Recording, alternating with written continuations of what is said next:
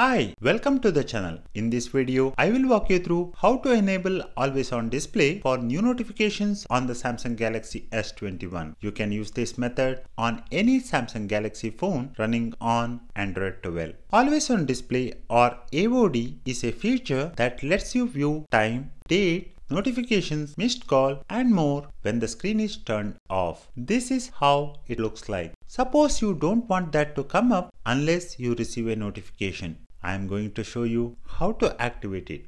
The first thing you need to do is go to settings and then go into lock screen by tapping on it.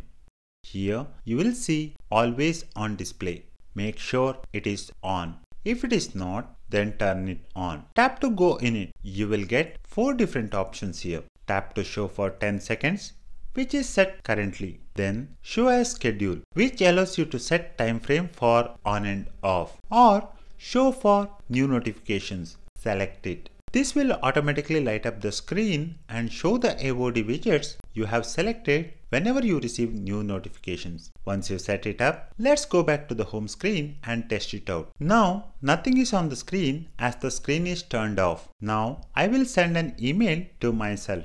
As you can see, there is a pop-up. This way you can automatically turn on always on display for new notifications on the Samsung Galaxy S21. Thank you for watching this video. Please hit the like button if you find this video informative. Don't forget to share this video with others who may need it.